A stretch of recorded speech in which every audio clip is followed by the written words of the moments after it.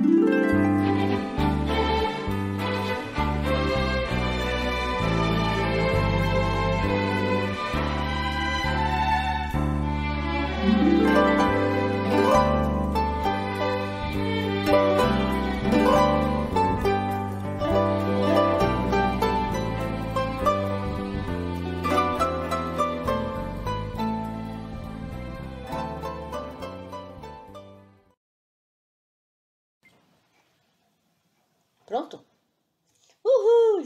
Estou na telinha! Boa noite, meus amigos, irmãos, companheiros de jornada do SEAC. É com grande alegria que nós estamos aqui, encerrando esse ano tão difícil que foi, mas com bastante aprendizado. Então, agradeço imensamente à presidência da casa, a coordenadoria dos nossos cursos, que nos permitem, nos dão essa oportunidade e nós não nos desligarmos e continuarmos operando um pouquinho em nome da doutrina espírita. Nós vamos falar um pouquinho hoje sobre Ano Novo, Vida Nova. Pessoal, todo final de ano a gente vê as comerciais na televisão, sempre aquelas músicas que são bonitas, por sinal, e a nossa musiquinha mais assim, conhecida, que tudo se realize no ano que vai nascer. Então, a gente deseja que tudo se realize no ano que vai nascer. Mas o que é realizar? O que é realizar tudo nesse ano que vai nascer? Realizar, o verbo realizar é realizar, ele significa tornar algo real, tornar algo efetivo. Então, o que, que nós queremos tornar? O que, que nós desejamos tanto que torne tudo real, que seja efetivo? Todo início de ano, nós sabemos que nós convivemos com as nossas dificuldades, com os nossos defeitos. E nós queremos, com o novo ano, nos tornarmos novos também. É como se passasse um grande caminhão de mudança coletivo e a gente fosse jogando tudo que não, não nos serve mais em cima e angariasse todas as coisas novas, não é assim? E aí, todo início de ano, nós começamos com aquela lista enorme das intenções, não é assim? As mulheres, 90%, ah, esse ano eu vou fazer regime. Aí vem aquele, ah, não, eu vou parar de fumar, eu vou parar de beber, eu vou ser mais assim, mais assim agradável, menos briguenta com os meus familiares. Os alunos, ah, eu vou estudar mais, não vou ficar muito na internet, não vou nem ficar tocando muito violão nem nada, não é assim? Ah, eu vou encontrar o meu par perfeito. Então a lista ela é enorme. Nós fazemos uma lista imensa de, de intenções para o novo ano, né? Como se a mudança de um dia para o outro conseguisse operar todas essas mudanças dentro de nós. Porque nós temos um eu ideal, mas está muito longe do eu real.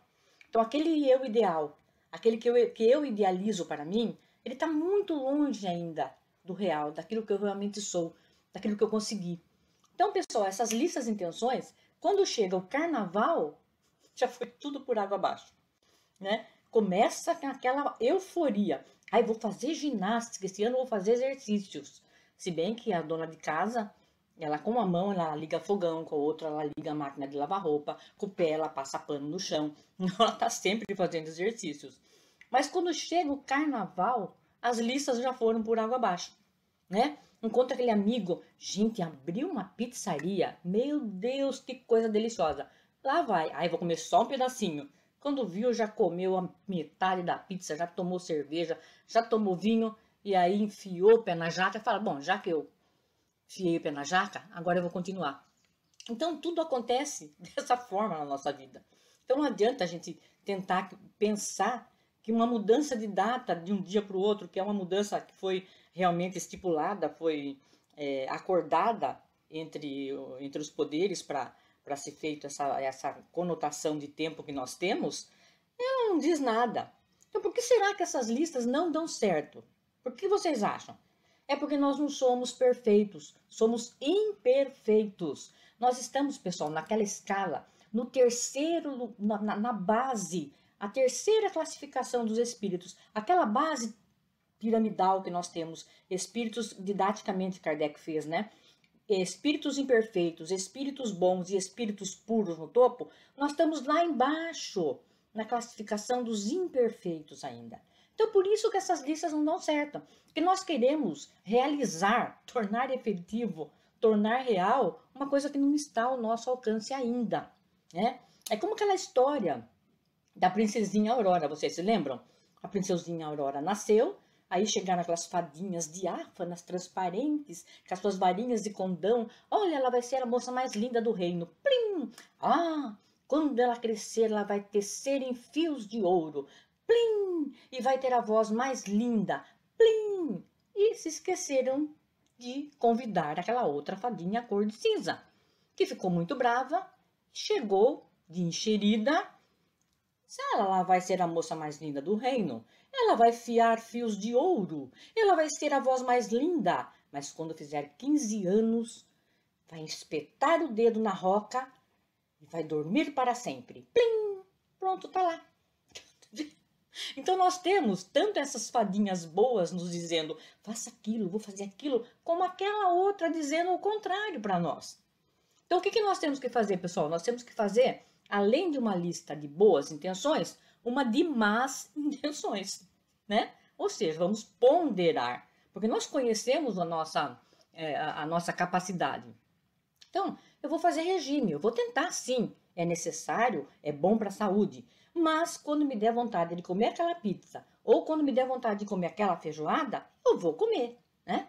Eu vou tentar não me melindrar muito na família, não discutir muito, vou tentar melhorar o meu relacionamento familiar. E hoje nós estamos numa, numa fase que está muito bom para se fazer isso, mas de vez em quando eu vou poder explodir e vou poder me perdoar por causa disso, né? Ou se eu não conseguir realmente fazer os exercícios da academia que eu quero fazer, também não tem problema. Nós temos que ter, tentar esse equilíbrio conosco. Então é só esse equilíbrio que nós temos que, que, que nós conseguimos começar a operar essa mudança que nós queremos em nós, porque todos nós queremos melhorar.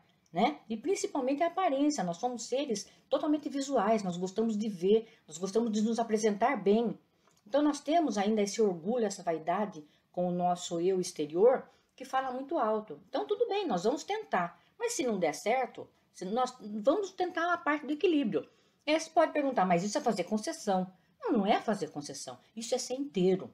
E é isso que nós somos. Inteiros, mas imperfeitos. Porque quem começa a, a, a, a ir para esse lado, tentar ser perfeito de uma hora para outra, né? Depois de um certo tempo, que ele não aguenta fazer isso, ele cai daquele pedestal e vai exatamente para o extremo oposto para o extremo.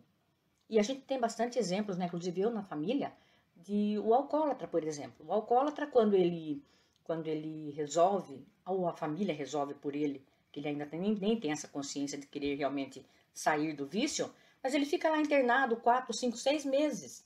Quando ele retorna, depois de um certo tempinho, ele volta pior no vício ainda. Quem tem alcoólatra e família sabe do que eu estou falando, sabe que realmente é assim. E nós temos lá no capítulo 27 do livro do Evangelho segundo o Espiritismo, o capítulo C de perfeitos. Então tá ali. Nós temos no Evangelho nos orientando para que nós sejamos perfeitos. Mas olha aí o que ele diz lá nesse capítulo. E nós falamos isso quase todas as palestras, não é por repetição, não é porque somos repetitivos, mas é porque nós temos que nos conscientizar desta verdade que vem através da doutrina nos ensinar o caminho para que a gente consiga fazer essa mudança durante o ano, durante a nossa vida, né? Não durante a passagem de um ano para o outro. E diz assim: reconhece-se o verdadeiro espírita e, óbvio, o verdadeiro cristão pelos esforços que ele faz em domar as suas más inclinações. Percebem? Pelos esforços que ele faz. Então, veja bem, não está dizendo que nós temos que sermos perfeitos porque mudou o ano, porque saímos de 2020 e estamos entrando em 2021. Não. Então, como nós começamos? Como a gente pode começar a fazer essa mudança? Ela é paulatina, ela é lenta, ela tem que ser digerida na nossa atual condição espiritual e moral para que a gente possa levar a cabo isso. Então, o que nós temos que fazer? Realizar atos isolados, devagarinho, eleger metas e, dentro dessas metas, começar a trabalhar vagarosamente, sem atropelos, sem muitas cobranças, e fazermos. Porque nós temos tantas quantas encarnações forem necessárias, como já tivemos, para que a gente caminhe para a evolução. Porque nós, fundamentalmente, nós estamos aqui para evoluir. Então, nós temos que fazer. E uma forma ótima da gente começar isso é a autocrítica. A autocrítica, quando a gente faz uma avaliação de si mesmo e para si mesmo. Olha, uma avaliação de si mesmo e para si mesmo.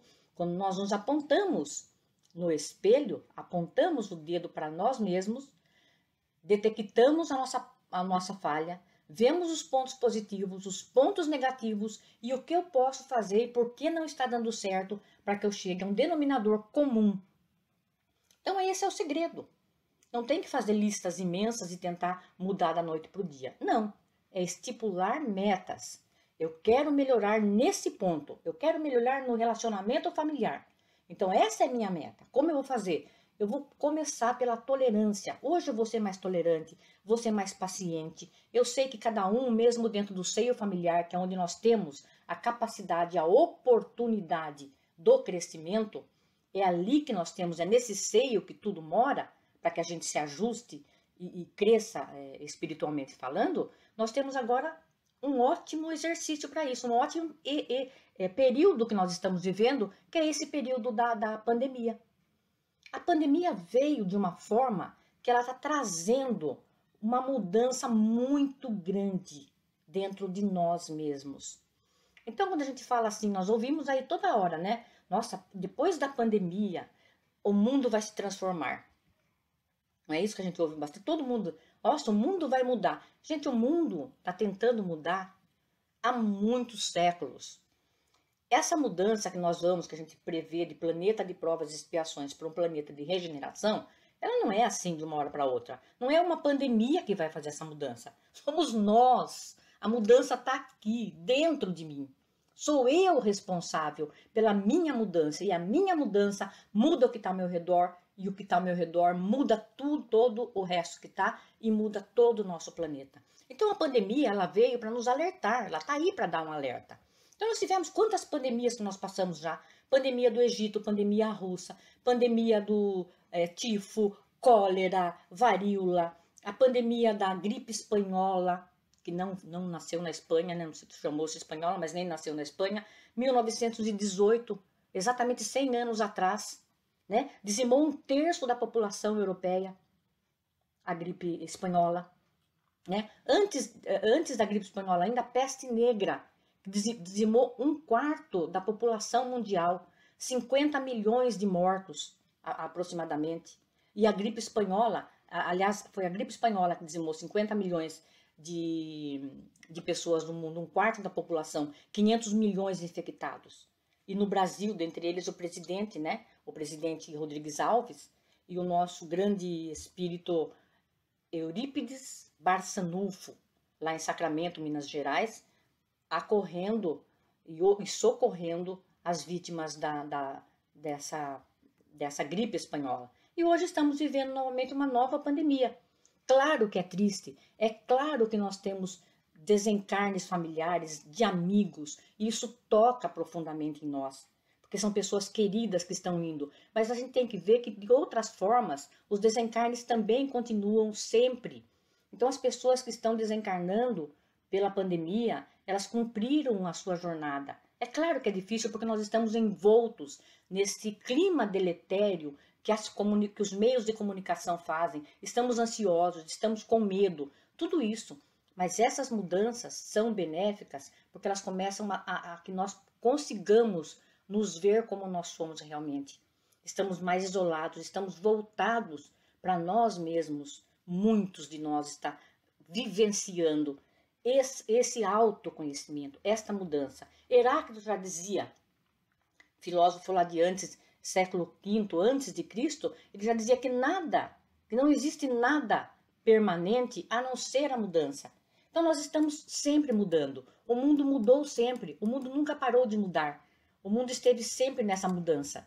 Então, nós temos dentro de uma pandemia muitas consequências, né? Temos consequências culturais, consequências práticas. Estamos aí vendo valorização de sistemas públicos que nós estamos nos, nos, nos é, é, informando, vivenciando. Então, estamos até com, co cobrando essas mudanças nos sistemas públicos que nós temos, transformações grandes que nós estamos tendo no regime de trabalho, no regime de escolaridade, as crianças mais em, em, com os pais, que às vezes a gente vai para o trabalho, além de, de, de, ficar muito tempo no trânsito, aquela loucura que se passa, chega em casa à noite e não tem tempo, hoje estão dividindo, sentindo mais o que é o trabalho com uma criança, com um filho que está aprendendo dentro de casa. Então, isso tudo, esse ensino à distância, esse trabalho à distância. E uma coisa importante que nós estamos tendo, pessoal, é que a gente está vendo a natureza se recuperar. A natureza se recuperando. A natureza se recuperando sem a presença humana. Então nós temos essa consciência de quão mal, quanto mal nós fazemos para esse planeta, que é o nosso ninho, né? O nosso ninho caloroso. É um planeta maravilhoso, é um planeta azul, um planeta que nos dá a oportunidade de virmos aqui evoluir, né? É um planeta escola, e nós temos essa benesse de, de estarmos habitando esse planeta. Então temos isso de bom que a pandemia nos traz, que a gente se volta para manter, para deixar essa natureza intacta, porque é dela, ela é nossa mãe, né? Somos natureza. Mas a mudança maior que está acontecendo com essa pandemia é dentro de nós. Essa mudança é a mais importante. Por quê, pessoal? Porque ela nos tirou da zona de conforto. Essa pandemia veio nos tirar da zona de conforto. E essa zona de conforto, em que a gente acha que nós estamos evoluindo, nós usamos durante toda essa nossa trajetória, nós vivemos de máscaras, né? Nós usamos máscaras o tempo todo. Somos seres personalistas ao extremo ainda, muito personalistas. Então nós usamos muitas máscaras. Nós não queremos mostrar o que realmente nós somos. Não é isso? E às vezes ali no cadinho do lar é que nós mostramos, colocamos as nossas garrinhas de fora Fora isso, nós usamos máscaras no ambiente de trabalho, no ambiente social, no ambiente escolar. Nós sempre estamos usando máscaras, não é assim? Na frente dos outros, nós somos todos simpáticos e bonzinhos. E dentro de casa, a gente vira o leãozinho ali, né? Então, essas máscaras que nós temos, elas estão começando a cair, porque nós estamos vivenciando um período muito grande dentro da nossa própria dificuldade, que é o seio familiar. E além do que, nós usávamos, sempre usamos essas máscaras, mas agora nós estamos usando essa outra máscara. E é uma coisa interessante, pessoal, que estava analisando, nós estamos é, nos comunicando com o olhar. Vocês pararam para pensar nisso? Nós comuni nos comunicamos com as palavras e muitas vezes nós falamos, não falamos aquilo que nós estamos pensando, né? É como Gandhi dizia: quando você pensar, falar e fazer aquilo que você está pensando fazer, você se tornará uma pessoa feliz. Porque muitas vezes nós pensamos uma coisa e falamos outra, mas o olhar não mente. Então nós temos hoje, através do olhar dessas máscaras que nós estamos usando, nós nos comunicamos pelo olhar. E esse olhar não mente. Então prestem atenção na rua quando a gente está andando, nós nos cumprimentamos com o olhar. Então a gente cruza com pessoas que nós é, é, vemos um olhar agradável, um olhar alegre, um olhar festivo, nos desejando realmente aquele bom dia com o olhar. Outros passam para a gente com um olhar feroz, com um olhar bravo. Outros com um olhar triste. Não sei se eu fiz olhar de triste, viu, pessoal? Mas acho que fiz, né? Acho que sim. Então, pessoal, mas é brincadeira. Mas é assim, a gente tem, então, nós estamos nos comunicando, nós estamos aprendendo a ver através do olhar. Não é assim que os olhos são a janela da alma? Então, olha que coisa interessante. Passem a, a prestar atenção no cruzamento, quando a gente cruza com as pessoas em máscara, os olhares que a gente recebe. E lá na, no livro Gênese, a Gênese, é, Kardec fala sobre os sinais do, falando no capítulo sobre os sinais dos tempos, ele diz que além da lei do progresso físico e moral, ele diz assim: a perfeição da morada está relacionada com a de seu habitante. A perfeição da morada está relacionada com a perfeição do seu habitante. Então, a nossa perfeição, a nossa vivência, a nossa harmonia em casa, ela depende do quê? Da minha perfeição moral. E é isso que nós estamos falando lá que Kardec falou de reconhecer-se o verdadeiro cristão e espírita pelos esforços que fazem domar as más inclinações. E lá Kardec continua na Gênese: a humanidade é um ser coletivo, no qual se operam as mesmas revoluções morais que em cada ser individual. Olá, então a humanidade, o planeta, nós todos temos somos seres coletivos. Não vivemos em duais, somos seres gregários, não podemos ser individualistas do jeito que nós estamos acostumados ainda. Né? Então, porque se opera as mesmas revoluções na humanidade toda como ser coletivo, como se opera em mim como ser individual. Das ruínas do velho mundo surge a mudança de caráter, dos costumes, dos usos, surge um novo ser humano. É agora que a humanidade se torna adulta. Passado não basta mais as novas necessidades. O progresso moral deve fazer reinar entre os homens a paz e a fraternidade. O progresso moral, acompanhado pelo progresso intelectual, levará o homem à unidade das crenças. Essa nova fase trará o desaparecimento do preconceito de raça e a se verem todos os povos como uma grande família. A nova geração marchará para a realização de todas as ideias humanitárias. Pessoal, isso foi escrito no século passado, século XIX, meados do século XIX. Não, é, não parece que foi escrito hoje para nós. Não parece que está sendo direcionado a qualquer momento que nós vamos abrir um livro e ler essa mensagem é para nós agora, sinais dos tempos. Então nós estamos acordando hoje para essa, para essas premissas que tem lá no livro, na Gênese. Nós estamos acordando agora de um passado que vem desde a segunda revelação do nosso mestre Jesus nós 20 séculos após para a gente conseguir nos conscientizarmos que essa mudança é necessária, que esse progresso é necessário. E nós vemos isso. As pessoas já não têm mais tolerância com o racismo. Nós estamos vendo repúdio em campos de futebol, em ambientes abertos, em ataques policiais. Nós estamos vendo esse repúdio que a sociedade está, está, está fazendo, que já não tolera mais né, esse racismo. Claro que tem exacerbação, tem pessoas que se aproveitam também, mas é outra história isso. E lá na pergunta 919 do Livro dos Espíritos, Kardec indaga: poderia sempre o homem, pelos seus esforços, vencer as suas más inclinações? Falando lá que nós necessitamos dominar as más inclinações. E ele pergunta: então o homem, pelos seus esforços, pode vencer essas más inclinações? Olha o que os espíritos respondem: sim, e frequentemente fazendo esforços muito insignificantes. O, qual, o, o que lhe falta é a vontade. Ah, quão poucos dentre vós fazem esforços. Olha aí, é a vontade.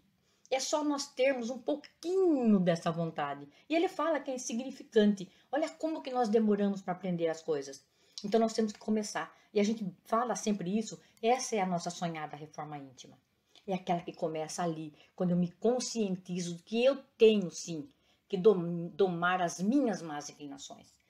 Meu, a, o meu personalismo excessivo, o meu egoísmo, a minha vaidade, tudo isso faz parte. Então a reforma íntima, pessoal, ela serve como uma esperança interior, como uma, um fortalecimento da minha fé, como um fortalecimento da razão, para que eu possa exteriorizar aquilo que realmente eu tenho em meta como o meu ideal, não o meu real, que está ainda muito abaixo.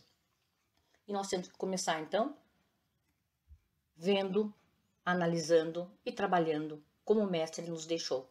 Amar o próximo como a si mesmo. O amor. Amor, imbatível amor, como Joana de Anjos no seu livro diz, né?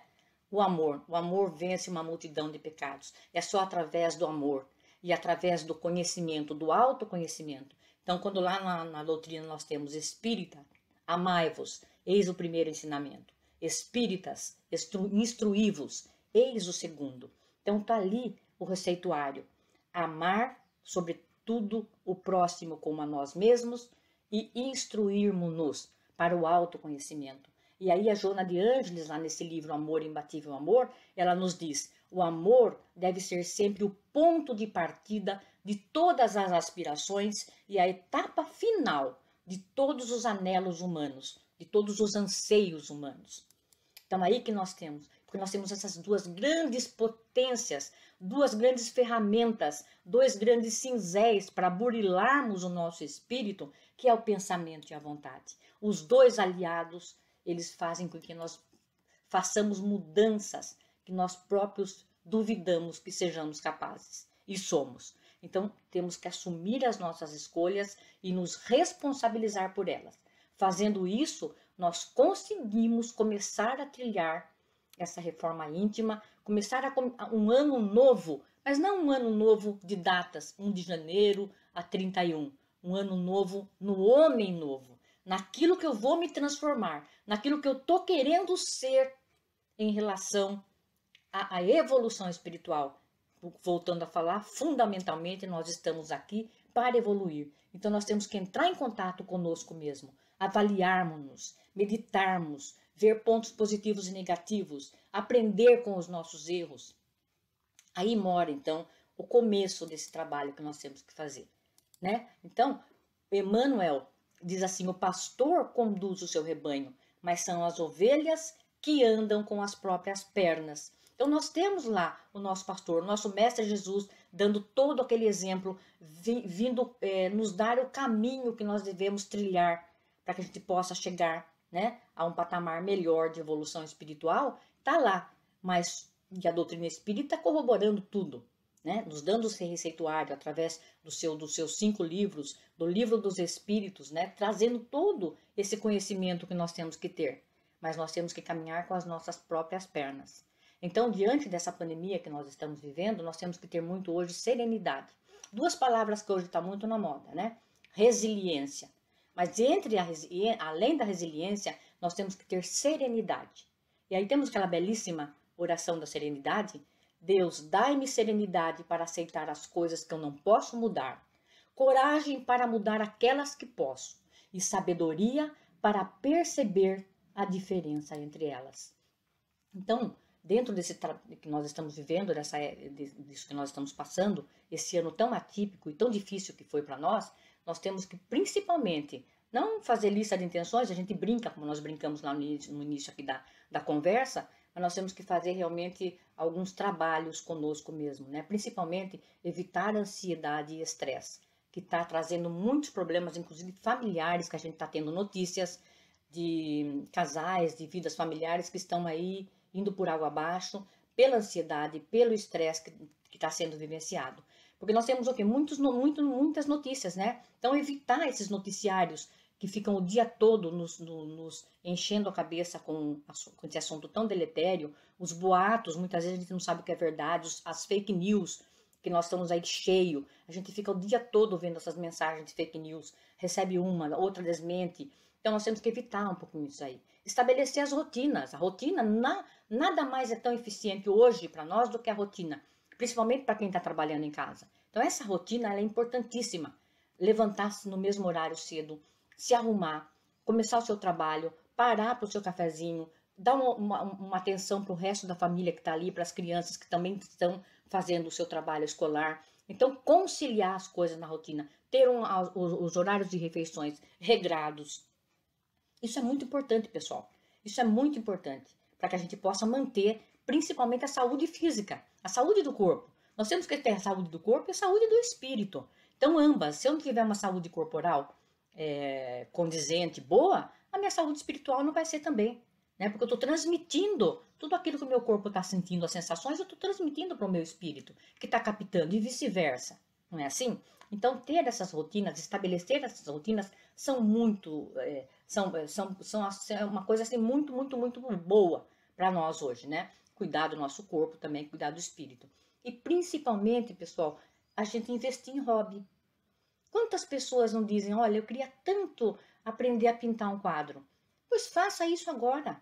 Dê-se ao luxo de ter esse tempo para você mesmo. Você não tem que ficar mais tão preso em trânsito, né? Uma das coisas boas que a pandemia veio trazer não tem que ficar preso, preso em trânsito o dia todo lá confinado entre quatro paredes de um escritório.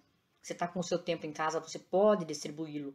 Então, fazer um hobby, tocar um instrumento, cuidar de um jardim, adotar um animal, tudo isso faz um bem danado para nós. Então, tudo isso nós podemos fazer como mudanças para que a gente possa estar tá num patamar um pouquinho mais elevado espiritualmente. E a resiliência, né? A resiliência é a capacidade que nós temos, vem do latim resilience, é a capacidade que nós temos de voltar ao estado normal.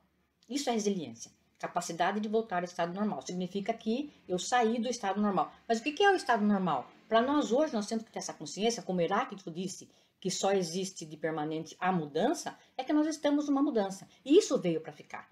Todas essas, essas, essas regras novas, à distância, elas vieram para ficar, pessoal. E é, é, elas simplificam a vida das pessoas. Então, voltar ao estado normal, no caso nosso aqui agora, é ter essa resiliência de que a normalidade vai ser essa. Então, o que nós temos que fazer? Adaptarmos-nos. Então, é essa adaptação que eu tenho que operar hoje.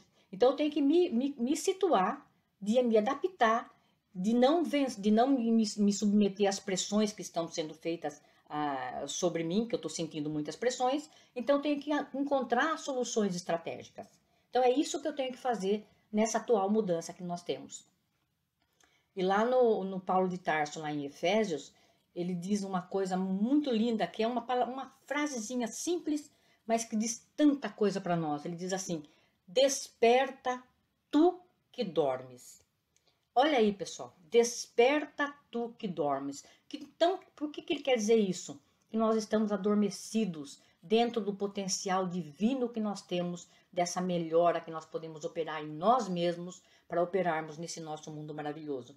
Então, esse potencial divino que nós temos, que dormita dentro de nós, tem que ser acordado. Desperta tu que dormes. Então, vamos deixar que esse gigante, vamos agigantar esse potencial divino que nós temos dentro de nós para que a gente possa tornar tanto a nossa morada individual, a nossa morada pequenininha da nossa família consanguínea terrena, torná-la melhor e assim tornar melhor tudo que está ao nosso redor e tornar melhor o nosso planeta. Esse nosso planeta maravilhoso, um planeta que nos aconchega, que nós temos uma natureza exuberante, temos tudo de bom dentro desse planeta que nos dá essa oportunidade de podermos passar de um ano para o outro. Né, pessoal? Estamos aí. Depois de amanhã, ano novo. E aí, Carlos Drummond de Andrade, nosso poeta grandioso, ele diz assim: para ganhar um ano novo que mereça este nome, você, meu caro, tem de merecê-lo, tem de fazê-lo novo. Eu sei que não é fácil, mas tente experimente, consciente. É dentro de você que o ano novo cochila e espera desde sempre. Olha que coisa linda, pessoal. Esse ano novo é isso que, nós, que ele quer dizer. É o ano novo, é esse homem novo que eu tenho que me tornar. É esse gigante que eu tenho que trazer de dentro esse potencial divino, essa centelha divina, para que eu me torne, então, um ser humano, um espírito um pouquinho mais elevado e que nós possamos fazer desse planeta belíssimo um planeta de regeneração.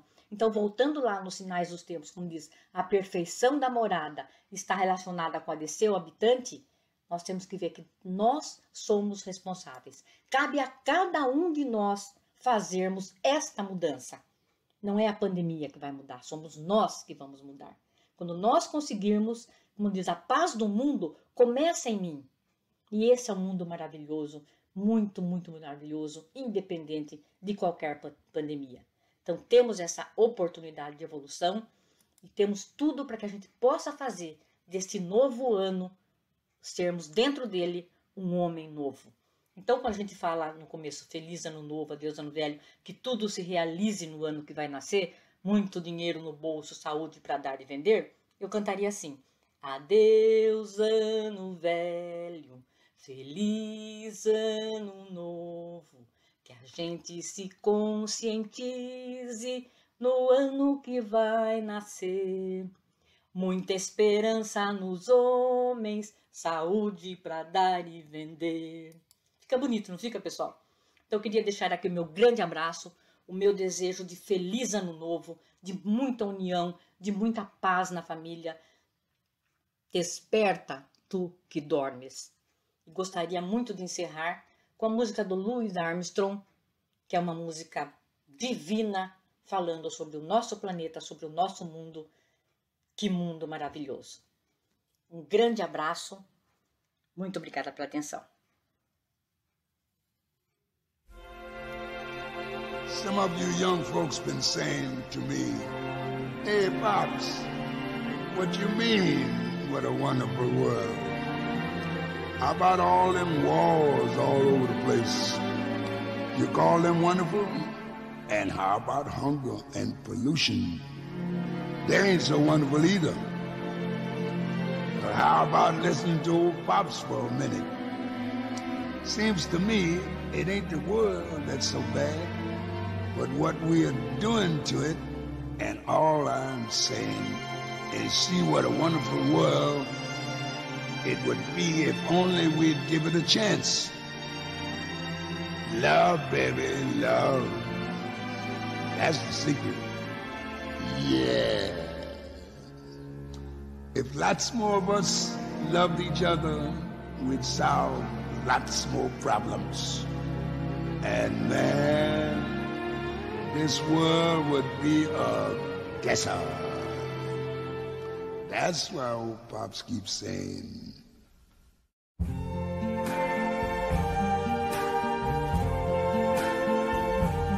I see trees of green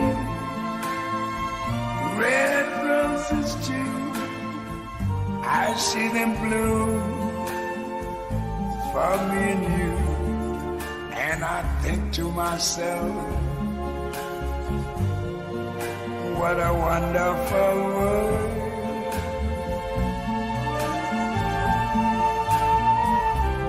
I see skies of blue clouds of white the bright, blessed day, the dark, sacred night.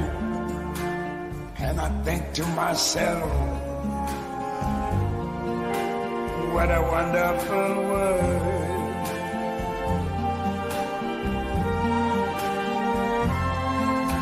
The colors of the rainbow, so pretty in the sky, also on the faces of people going by.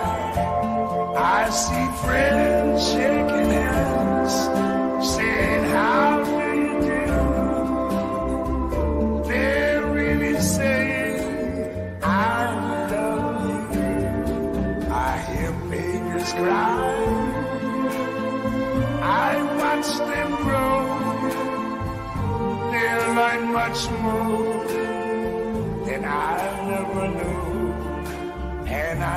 to myself, what a wonderful world. Yes, I think to myself, what a wonderful